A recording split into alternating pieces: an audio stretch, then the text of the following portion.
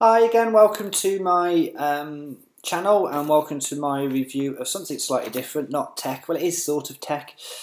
Um, as you uh, may have known if you've listened to any of the podcasts that I've done or and seen any of the other videos of the moon um, and stuff that I've put on, um, I'm quite a keen um, astronomer. Um, no, it's not astrology, I don't believe in astrology, it's an astronomer. And I've got my own telescope and I like to take pictures and videos of stuff. Um, but one of the things that I find quite hard to do is actually to get a decent focus. Uh, it took me forever to figure out my um, how to track um, on on it. I have a drive that you stick onto the telescope, and it's meant to track the object, so it um, cancels out the movement of the Earth, etc. Um, wasn't working for ages, and then I went to a local astronomy club um, and got a very simple answer and felt a bit stupid for not realising what it was. So I managed to get out a couple of nights after that, um, and I managed to take um, some video of Saturn, which you'll be able to see on my channel. But I just thought I'd quickly show you that one. that is a photo that I took of Saturn via my iPhone. How cool is that? Um, that was used um, using the video I took off the iPhone and then stacking it. Um, and it is slightly edited just to get it a little bit more in focus. But um, as you can see, you can see the uh, the ring, uh, the rings of Saturn really well, and obviously Saturn itself there. And when you think how far that that is, how far away that is compared to um, where I am and where I was, um, and the fact that that was taken via a camera phone, I'm just, it's astonished me. Um, but while I was at the meeting, um, someone, because um, I was talking about not being able to get it in focus correctly, because it's quite difficult to get things in focus on a telescope. Um, and obviously your left right is back to front and all that sort of stuff. Uh, but someone said that um, I should look at uh, one of these, which I'm probably going to pronounce wrong, but I'm going to call it a Benetovia mask.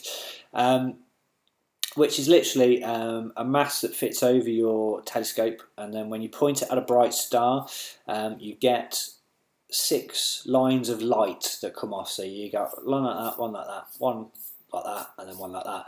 And then to get it perfectly in focus, um, you literally move the focuser up and down until you get the horizontal line, um, which is dead center.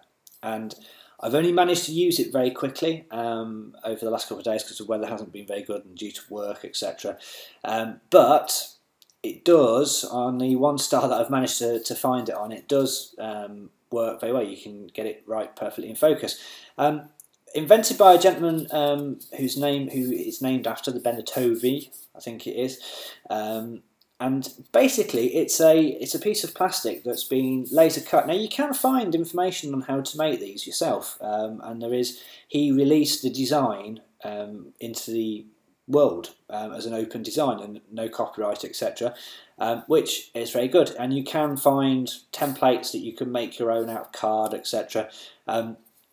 But there's a lot you can imagine if you see the very fine lines of there. It's a lot of fiddly stuff.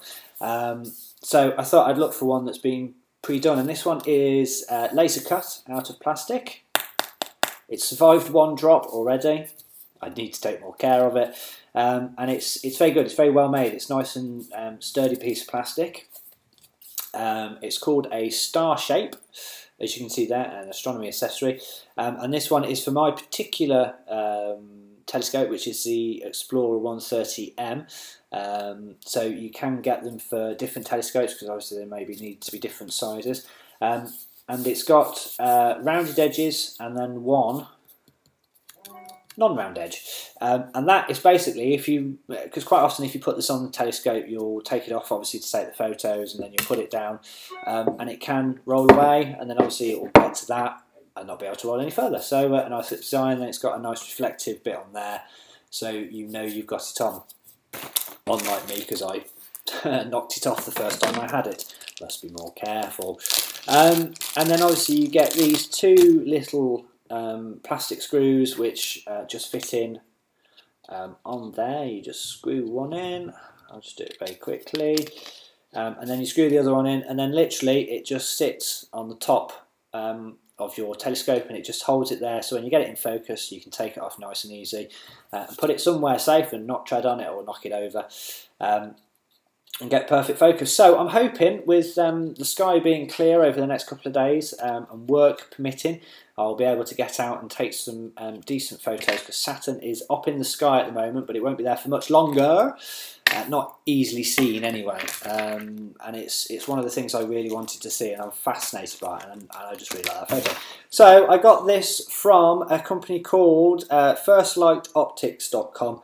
That's firstlightoptics.com. They do astronomy stuff, um, and it was a whole £13.29, um, which I think, for the sake of spending hours trying to cut that pattern out of card, and then getting it wrong by a millimetre and it all being wrong and not working properly. Um, it's not a bad price. So there you go. Um, if you want to have a look at some of the videos I've done for astronomy stuff, uh, there's quite a lot on there of the moon. Um, my one of Saturn is on there as well on my channel.